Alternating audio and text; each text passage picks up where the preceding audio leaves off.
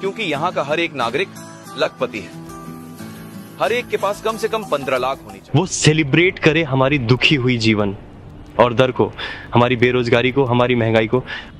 हम, क्योंकि हम, जो भारतवर्ष है अब अन्याय काल की तरफ़ ऐसे बढ़ रहे हैं, इतनी इतनी स्पीड से बढ़ बढ़ रहे हैं।